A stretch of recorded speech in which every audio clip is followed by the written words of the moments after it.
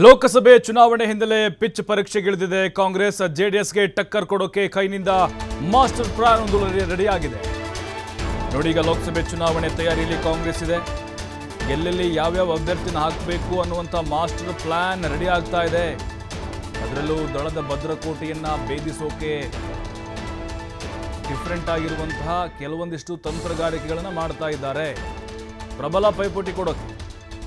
ಹೊಸಬರಿಗೆ ಯುವಕರಿಗೆ ಅವಕಾಶ ಕೊಡುವಂತಹ ಕೆಲಸ ಆಗ್ತಾ ಇದೆ.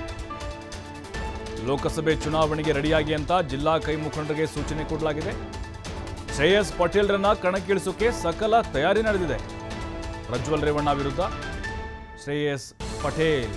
ಇವರು ಹೊಳೆ ನರಸೀಪುರದಲ್ಲಿ ಎಚ್ ಡಿ ರೇವಣ್ಣ ವಿರುದ್ಧ ವಿಧಾನಸಭೆ ಚುನಾವಣೆಯಲ್ಲಿ ನಿಂತಿದ್ರು. ಕೆಲವೇ ಕೆಲವು ಮತಗಳಂತರ ಎರಡರಿಂದ ಮೂರು ಸಾವಿರ ಅಷ್ಟೇ. ಅದು ರೇವಣ್ಣ ಅಂತ ಘಟಾನುಘಟಿ ನಾಯಕನ ವಿರುದ್ಧ ಸೋತಿದ್ದಾರೆ.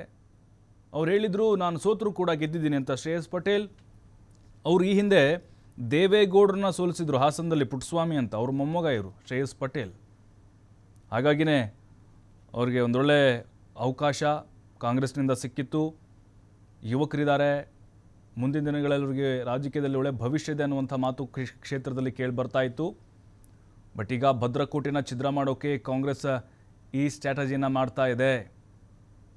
ಅಂದರೆ ಈಗ ಪ್ರಜ್ವಲ್ ರೇವಣ್ಣ ವಿರುದ್ಧ, ಈಗ ಪ್ರಜ್ವಲ್ ರೇವಣ್ಣ ಕೂಡ ಯುವಕರು ಅವರ ವಿರುದ್ಧ ಪಟೇಲ್ರನ್ನ ಕಣಕ್ಕಿಳಿಸಿದರೆ ಒಳ್ಳೆ ಫೈಟ್ ಕೊಡ್ಬೋದು ಅನ್ನುವಂಥ ಲೆಕ್ಕಾಚಾರವನ್ನು ಹಾಕ್ಕೊಂಡಿದ್ದಾರೆ ಯಾಕಂದರೆ ರೇವಣ್ಣ ವಿರುದ್ಧ ಕಡಿಮೆ ಮತಗಳ ಅಂತರದಲ್ಲಿ ಸೋತಂಥವರು ಅಷ್ಟೇ.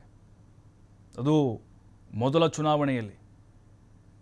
ಬಟ್ ಈ ಪ್ಲ್ಯಾನನ್ನು ಡಿ ಕೆ ಶಿವಕುಮಾರ್ ಅವರು ಕೂಡ ಹೆಣಿತಾ ಇದ್ದಾರೆ. ಹಾಗಾಗಿಯೇ ಶ್ರೇಯಸ್ ಪಟೇಲ್ ಈಗಲಿಂದಲೇ ತಯಾರಿಯನ್ನು ಮಾಡ್ಕೊಳ್ತಾ ಇದ್ದಾರೆ. ಪಿಚ್ ರಿಪೋರ್ಟ್ ಇಳಿದಿದ್ದಾರೆ ಎಲ್ಲೆಲ್ಲಿ ಯಾವ ಯಾವ ಯಾವ ಭಾಗದಲ್ಲಿ ಪಕ್ಷವನ್ನು ಇನ್ನೂ ಸಂಘಟನೆ ಮಾಡಬೇಕು ಅಂತ. ಯಾಕಂದರೆ ಈಗ ಗಮನಿಸಿದ್ವಿ ನಾವು ಅರಸಿಕೇರಿಯಲ್ಲೂ ಕೂಡ ಕಾಂಗ್ರೆಸ್ ಗೆತ್ತು ಅದರ ಜೊತೆಗೆ ಹಾಸನದಲ್ಲಿ ಈ ಬಾರಿ ಬದಲಾವಣೆಯಾಗಿದೆ ಅಲ್ಲಿ. ಜೆ ಡಿ ಎಸ್ ಭದ್ರಕೋಟೆ, ಅದು ಭದ್ರಕೋಟೆಯಾಗಿ ಉಳಿದಿಲ್ಲ. ಬಟ್ ಅದನ್ನು ಈಗ ಮತ್ತಷ್ಟು ಛಿದ್ರ ಮಾಡಬೇಕು ಅನ್ನುವಂಥ ಪ್ಲ್ಯಾನ್ ಕಾಂಗ್ರೆಸ್ ಹಮ್ಮಿಕೊಂಡಿದೆ.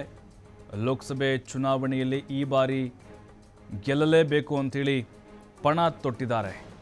ಯಾಕೆಂದರೆ ಹಾಸನ ಅಂದರೆ ನಮ್ಗೆ ತಟ್ಟದ ನೆನಪಾಗೋದು, ಅದು ಗೌಡರ ಒಂದು ಕೋಟೆ, ದಳಪತಿಗಳ ಒಂದು ಭದ್ರಕೋಟೆ ಅಂತ, ಜೆ ಡಿ ಎಸ್ ಪ್ರಾಬಲ್ಯ ಇರುವಂಥ ಜಿಲ್ಲೆ ಅಂತ.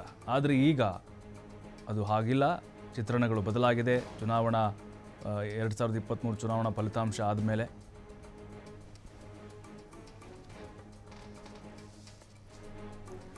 ಮತ್ತಷ್ಟು ಮಾಹಿತಿ ಕೊಡ್ತಾರೆ ಪ್ರಕಾಶ್ ನೇರ ಸಂಪರ್ಕದಲ್ಲಿ. ಪ್ರಕಾಶ, ಈಗಾಗಲೇ ಗಮನಿಸಿದ್ದೇವೆ, ಕಾಂಗ್ರೆಸ್ ಅಭೂತಪೂರ್ವದಂಥ ಗೆಲುವಿನ ಮೂಲಕ ನಾಗಾಲೋಟ ಲೋಕಸಭೆ ಚುನಾವಣೆಯಲ್ಲೂ ಕೂಡ ಮಾಡಬೇಕು ಅಂತ ಪ್ಲಾನ್ ನಡೆಸ್ತಾ ಇರೋದು.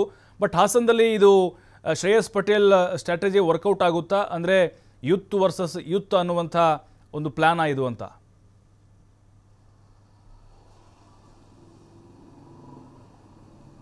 ಪ್ರಭು, ಈಗಾಗಲೇ ಕಳೆದ ತಿಂಗಳು ವಿಧಾನಸಭಾ ಚುನಾವಣೆ ನಡೆದಂತಹ ಸಂದರ್ಭದಲ್ಲಿ ಸಾಕಷ್ಟು ಎರಡೂ ಪಕ್ಷಗಳು ಜೆ ಡಿ ಎಸ್ ಮತ್ತು ಕಾಂಗ್ರೆಸ್ಗೆ ಸಾಕಷ್ಟು ಪಾಠವನ್ನು ಕೂಡ ಕಲಿಸಿರುವಂಥದ್ದು. ಎಲ್ಲೋ ಒಂದು ಕಡೆ ಕಾಂಗ್ರೆಸ್ ತಾನು ಮಾಡಿದ ತಪ್ಪಿನಿಂದ ಕೆಲವೊಂದಿಷ್ಟು ಸೀಟ್ಗಳನ್ನ ಹಾಸನ ಜಿಲ್ಲೆಯಲ್ಲಿ ಕಳೆದುಕೊಳ್ತು. ಅಂದರೆ ಸಿದ್ದರಾಮಯ್ಯ ಅವರು ಬರಲಿಲ್ಲ, ಡಿ ಕೆ ಶಿವಕುಮಾರ್ ಕೂಡ ಇಲ್ಲಿ ಪ್ರಚಾರಕ್ಕೆ ಬರಲಿಲ್ಲ. ಎಲ್ಲೋ ಒಂದು ಕ್ಷೇತ್ರಕ್ಕೆ, ಎರಡು ಕ್ಷೇತ್ರಕ್ಕೆ ಮಾತ್ರ ಸೀಮಿತವಾದರೂ ಡಿ ಕೆ ಶಿವಕುಮಾರ್. ಮಿಕ್ಕ ಕ್ಷೇತ್ರಗಳಲ್ಲಿ ಸಿದ್ದರಾಮಯ್ಯ ಅವರು ಕೂಡ ಬರಲಿಲ್ಲ. ಆ ಹಿನ್ನೆಲೆಯಲ್ಲಿ ಆ ಓಟ್ನ ಪ್ಯಾಟ್ರನ್ ಏನು ಗಮನಿಸಿದ್ರೆ ಒಂದು ಕಡೆ ಕಾಂಗ್ರೆಸ್ಗೆ ಓಟ್ ಪ್ಯಾಟ್ರನ್ ಹಾಸನ ಜಿಲ್ಲೆಯಲ್ಲಿ ಹೆಚ್ಚಾಗಿದೆ ಅನ್ನುವ ಎಲ್ಲ ಮುನ್ಸೂಚನೆಗಳು ಜೊತೆಗೆ ವಿಧಾನಸಭಾ ಚುನಾವಣೆಯಲ್ಲಿ ಅದು ಗೊತ್ತಾಗಿರುವಂಥದ್ದು ಆ ಹಿನ್ನೆಲೆಯಲ್ಲಿ ಈಗಾಗಲೇ ಹಾಸನ ಜಿಲ್ಲೆ ಹೊಳೆನರಸೀಪುರ ವಿಧಾನಸಭಾ ಕ್ಷೇತ್ರದ ಶ್ರೇಯಸ್ ಪಟೇಲ್ ಏನಿದ್ದಾರೆ ಅವರು ಮಾಜಿ ಸಚಿವ ಎಚ್ ಡಿ ರೇವಣ್ಣರವರ ವಿರುದ್ಧ ಕೇವಲ ಎರಡು ಸಾವಿರ ಎರಡು ಸಾವಿರ ಮತಗಳ ಅಂತರದಲ್ಲಿ ಮಾತ್ರ ಸೋಲನ್ನು ಕಂಡಿರುವಂಥದ್ದು ಈ ಹಿನ್ನೆಲೆಯಲ್ಲಿ ಏನು ಉಪಮುಖ್ಯಮಂತ್ರಿಗಳಾದಂತಹ ಡಿ ಕೆ ಶಿವಕುಮಾರ್ ಅವರ ಮನೆಗೆ ಹೋದಂತಹ ಸಂದರ್ಭದಲ್ಲಿ